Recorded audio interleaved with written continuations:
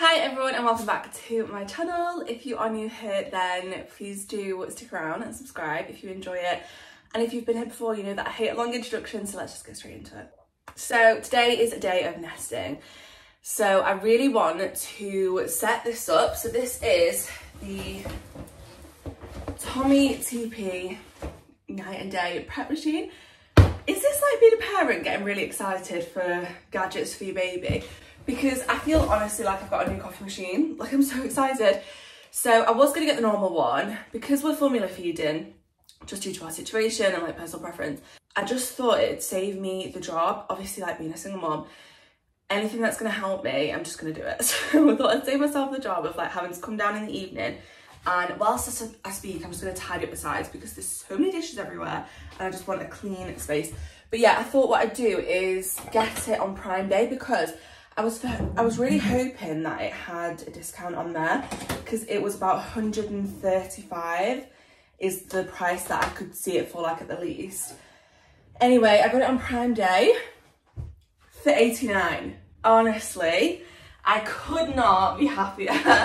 I feel like it's such a good bargain. So I was gonna get the normal one, but the normal one was 79 and this one was 89. So I thought for an extra 10 pounds, if I get a few extra features on it, then why not? So that is what I did, got that. So I feel very organised in terms of everything now.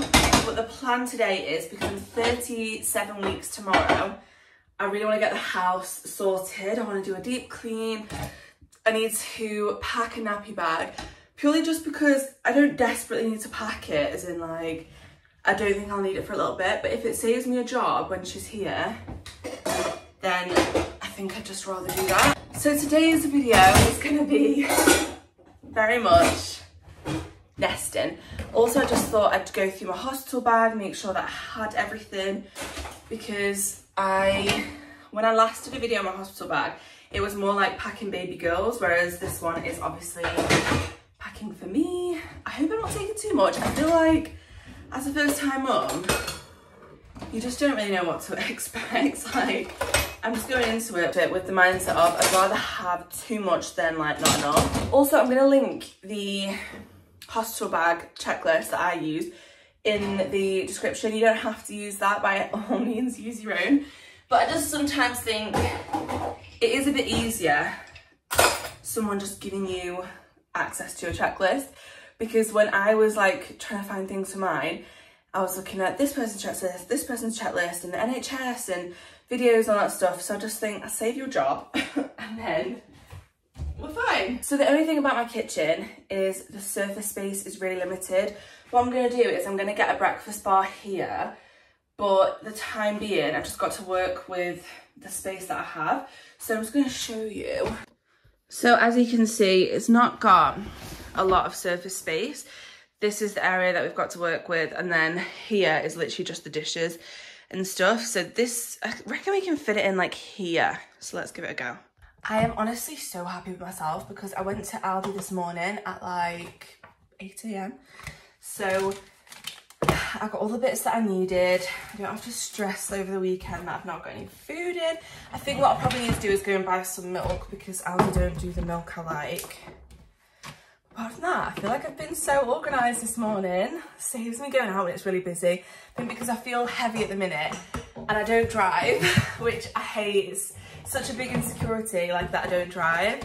And I've just passed my theory test and I have, I've done like 20 lessons, but I need to take a break now because obviously baby's coming in like the next few weeks. So my instructor is super chilled and he's really nice he was like, whenever you're ready to begin again, like, let's just, like, just go, just message me. So I'm going to start again, probably end of August. Um, gives me like maybe a month, maybe, maybe like mid-September or something. I just really want to get back on it as soon as possible so that I can get my car because I just feel like I really want a car with a baby. Let me see if this lighting is a bit better. But yeah, I just really want a car if I'm going to have a baby. So this is what the prep machine looks like very bougie. I might give the sides a little wipe down. So here's the gaps that I'm going to attempt to slot this into. It's actually not that bad. And then I can move these here. Maybe I'll put the milk frother away until I need to use it. Now it's the process of actually setting it up. So, right. I'm gonna put this little light on. I got it from work the day, so let's see if it makes a difference. Okay, that is quite good, really. I love a gadget. Right, so I'm gonna be super accurate. So a litre, add one litre of boiling water. Actually see. Place a large mug on the tray. Is that large enough? Yeah, maybe.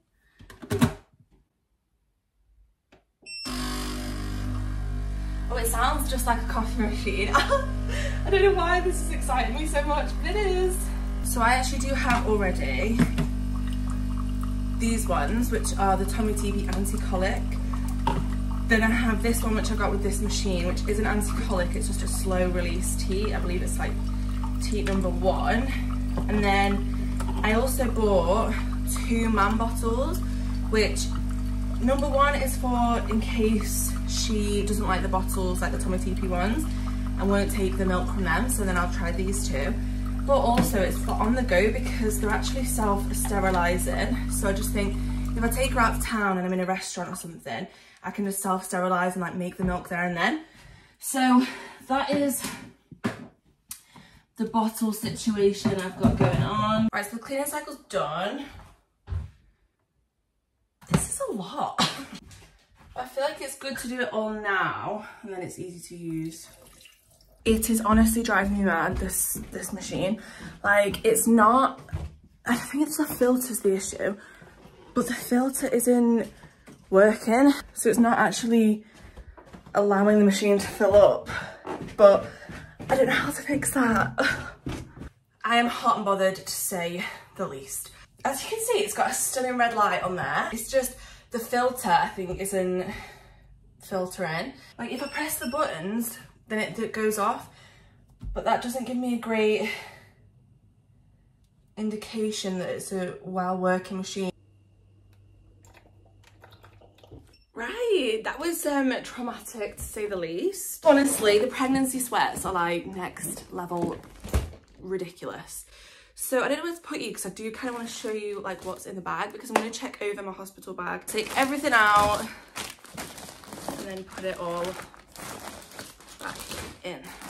So first of all, it's button down pyjamas. Right, so I have one button down nighty packed. I do have another one upstairs and I'm taking a pair of like long ones as well. I know that seems quite intense, like there's quite a lot. But you just don't know how long you're gonna be in there. So I'll pack this one and I'll make a note of the fact that I need to pack the two. It's just because I wear the other two quite a lot and I don't want to get in the cycle of like buying loads of new stuff for the hospital. Like I want to save the money for Lila, like baby girl, and that's the most important thing maternity tops. So I've got a vest here, which is stone coloured one. And then the other one that I'm taking is this one. So I'm obviously wearing this one. Um, and then two soft bras. So maternity tops and soft bras. I've got one top in here, two soft bras. I'll make a note to pack this top that I'm wearing. Um, flip-flops and sliders sliders. I was going to buy some new flip-flops, which I still might, to be honest, because they're like one pound from Primark. But it's the actual like getting into town to get this stuff um, when my back is like really sore and actually going anywhere at the minute is a bit of a task. So I'm going to keep these as an option.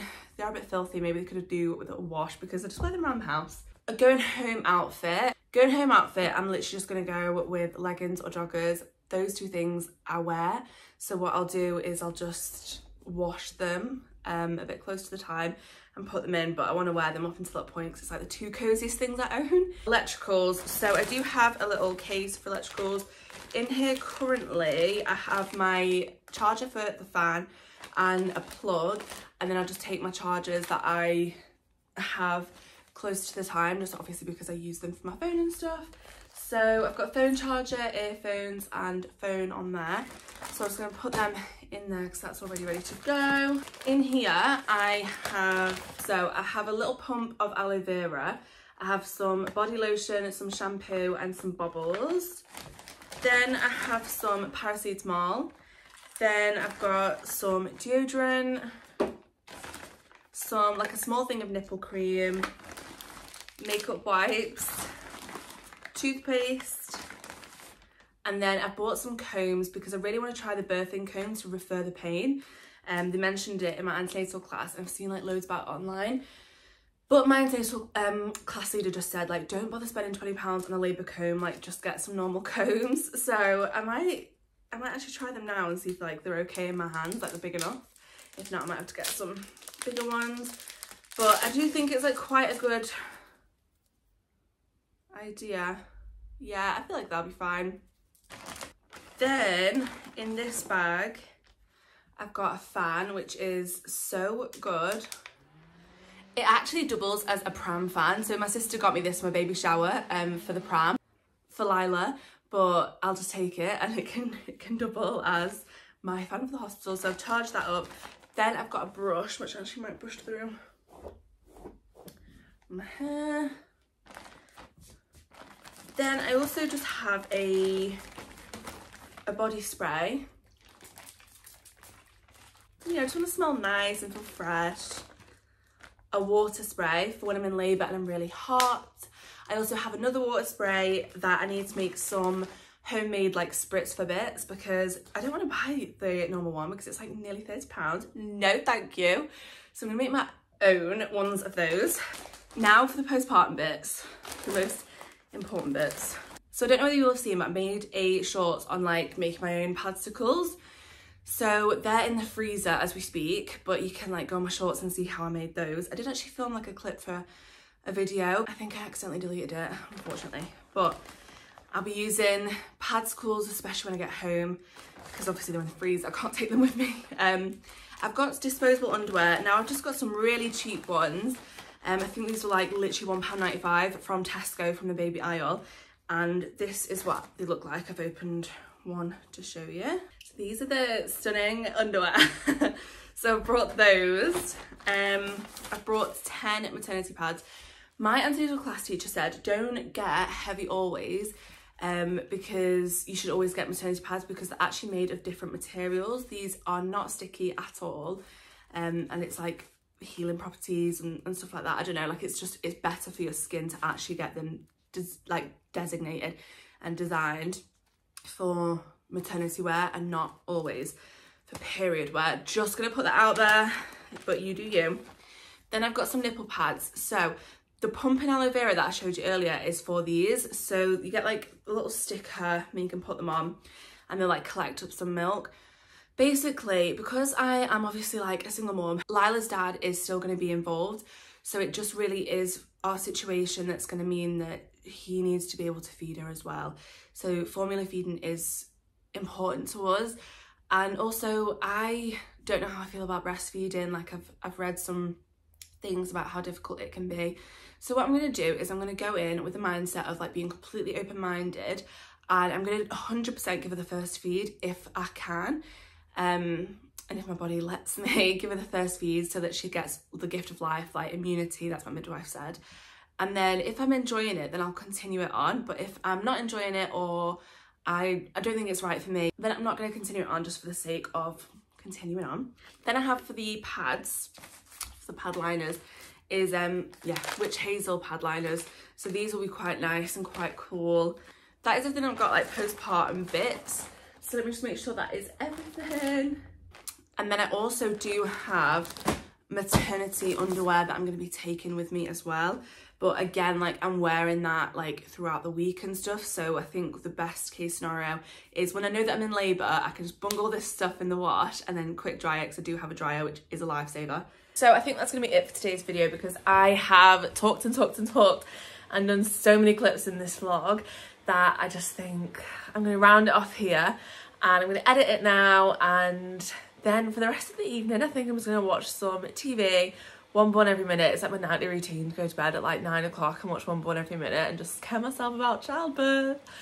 But yeah, that's what I'm gonna do. I hope you enjoyed this video. If you have, please do subscribe. I'll put my TikTok and Instagram on here if you want to follow there.